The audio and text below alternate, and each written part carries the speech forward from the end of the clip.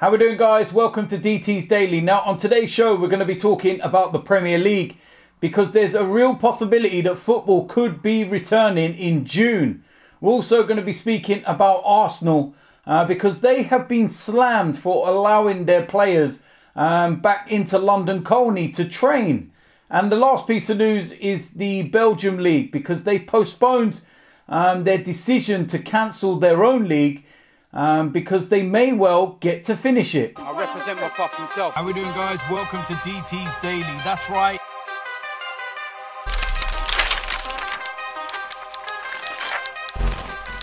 So the first place we're going to start is the Premier League, and it's the news that broke yesterday that football could be returning behind closed doors in June. As mad as that may sound, that is a distinct possibility, and it is also being backed by the government. Uh, the Premier League will hold further talks this week as it targets a return behind closed doors in June, and it has the backing of the government. All 20 clubs will hold the latest conference call on Friday, armed with the knowledge that the country's political leaders are also keen for the season to resume when possible. Uh, the digital, cultural, uh, media and sports secretary Oliver Dowden said in the House of Commons I personally have been in talks with the Premier League with a view to getting football up and running as soon as possible in order to support the whole football community. But of course, any such move would have had to be consistent with public health guidance. The government's next review on current lockdown restrictions is due on May the 7th. As detailed, planning continues under Project Restart programme. Prime Minister Boris Johnson said on Monday, I ask you to contain your impatience. Uh, Johnson says the UK is making progress and beginning to turn the tide against the coronavirus pandemic, but urged people to maintain social distancing restrictions. Uh, sport will only resume when the government is satisfied its own measures are in place. The Premier League, along with other sports, will have to meet specific criteria before a return, including testing arrangements for participants uh, paid for by sporting authorities or clubs and ensuring measures are in place to avoid fans gathering outside matches. It has yet to be decided whether games will resume at approved stadiums or at a neutral venue such as St George's Park. Uh, the Premier League remains committed to completing the remaining 92 games of the season in line with UEFA's recommendations. Um, so, yeah, look, as mad as that may sound, it's a distinct possibility. And the fact that the government are involved and backing the idea, the only thing that could probably stop this would be a huge spike, you know, in the number of deaths, um, like a second wave. Um, but, you know, this country is not really anticipating that until maybe the end of June, start of July, um, given the fact that there's so many people that have not listened to the restrictions and the guidelines and been going about you know, as though it's a normal day, going to the beach and sunbathing and whatnot. So, you know, some people are saying there is going to be a second spike, but when we don't know. And there's a lot involved. But I was looking at some of the details with this. Um, and some of the neutral venues that they were talking about, of course, is England's training complex, St George's Park. Um, they were also talking about Manchester City's Academy Stadium. And they were also talking about Wembley. And I'm looking at that and I'm thinking behind closed doors, games at Wembley, St George's Park. Come on, man. I know we're desperate for football to come back. I know we want to see the beautiful game again, but I just think it would do more harm than good. You know, watching these games of such magnitude, you know, such high stakes. Liverpool trying to, you know, get those couple of games they need to win the Premier League. European places up for grabs, um, relegation, you know, all of those um, issues that need to be sorted out. And you're going to be playing it in just subdued conditions. No fans, no atmosphere, nothing. Like a training game.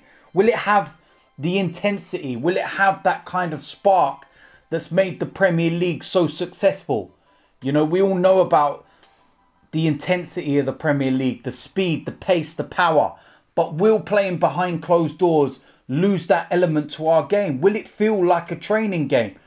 Will the players be back up to speed? How long have they got to train and get themselves ready for a June return and whatnot. It's a strange one, man. And when you're looking at that, because you're thinking about players have to go back and start training properly. Well, they're not allowed to do that at the moment because of all the social distancing stuff. So, what do you do? Do you stop them going out anywhere outside of football? Do you lock them in a hotel? So much. It seems far fetched, but what I will say to this is that it's good that they're, you know, put something in place so that we all get an understanding of where we're going. They want to complete the season. We knew that they wanted to complete the season, and it's not a Liverpool thing, it's a money thing. They want to complete it because they want the money. It's as simple as that. Um, but yeah, maybe if we can get this done and dusted, then we can all just move on and just, you know, try and finally get rid of the coronavirus completely. And then we can start going back to games as fans because football without fans is nothing. It's as simple as that.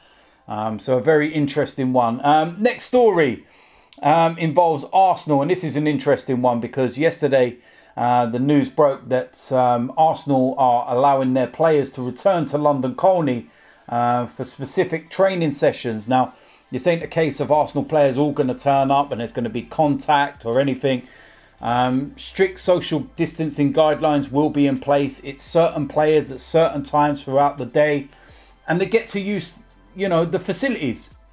And I, for one, agree with that. I think it's a good thing um, because it stops players going down to the local parks or anything else because they do need to get out there. They do need to, you know, be outside of their home domain. It's not all about, you know, doing the workouts in the gym. I know that some of them are so lucky that they've got their own purpose built gyms at home and big back gardens and everything else, but they still need to train. But the story that I'm going to get onto involves um, Georgia Bingham from Talksport. Now, she's a presenter on there, and we know that most of the presenters on Talksport have a habit of ripping into Arsenal. And for some strange reason, she's ripped into Arsenal because they're returning.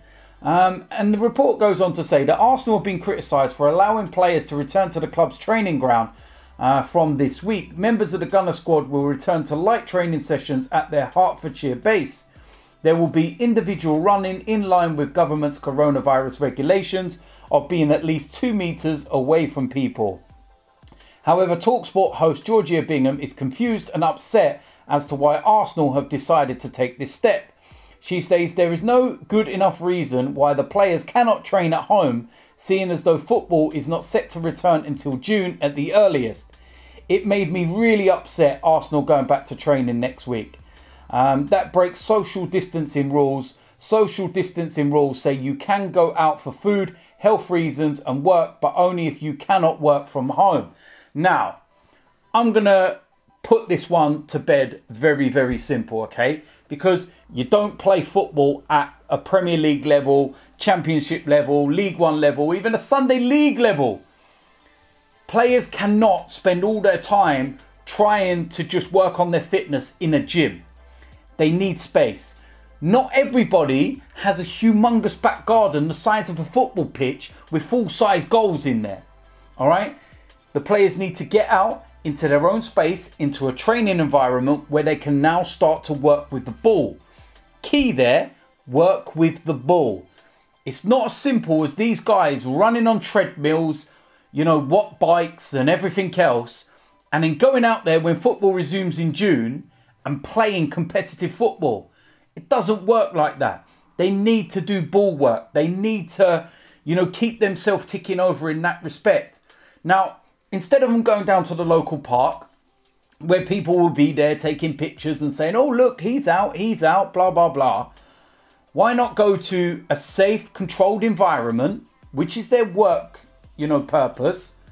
Go there and prepare to get ready for when the season resumes and they get to work with coaches at a distance who can help them, guide them, and ultimately get themselves ready and up to speed for when the season you know goes again.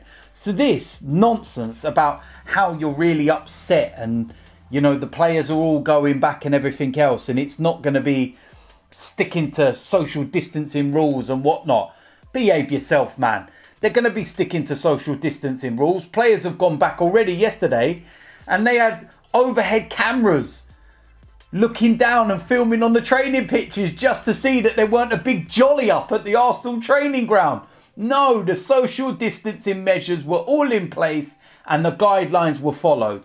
No problem with this. I've heard that Spurs are now doing it with their players, and I'm no doubt a lot more of the clubs will start to do it as well. Why put the risk of your players going out there in the local parks and whatnot, trying to do ball work or working in small spaces in a garden where most of these Premier League clubs have humongous training grounds with so many pitches? Arsenal have got over 12 pitches at their training ground that are just sat there. Players can go on them, good environment, work with the ball, shooting, dribbling, you know, all kinds of stuff that they can do with themselves that they cannot do at home. Very simple. I won't say no more on that matter. Um, last piece of news involves the Belgium League, and uh, Belgian clubs have postponed a vote on confirming a cancellation of the season until next week, keeping open the door for a possible resumption. Following a decision taken at the beginning of April, the 24 Pro League clubs have been scheduled to confirm the premature ending of the season due to the coronavirus, with Club Brugge declared champions. Um, now, this is a very interesting one because obviously they already cancelled their season. You know, Bruges were champions, but they've now postponed it and they're going to wait a week or so. So maybe they're looking at the situation in Germany. Maybe they're looking at the situation in Italy because players are supposedly going back to train um, as little as next month in May in Italy. Um, and with what's going on in the Premier League, maybe now they've looked at that and said, hold on a minute, we may well be able to get this season done after all. So let's not, you know, jump the gun a bit. Let's just have a little look. And if they get backing from their government and everything else, it's something that they will be able to do. So very interesting news. And um, I'll keep an eye on that one over the next week or so and see what actually happens. So there we go. That is it for today's DT's Daily. As usual, let me know in the comment section what you think about today's topics. Um, if you're new around here, hit the subscribe button. Make sure you smash a like on this video. I'll see you lot tomorrow. I'm out of here.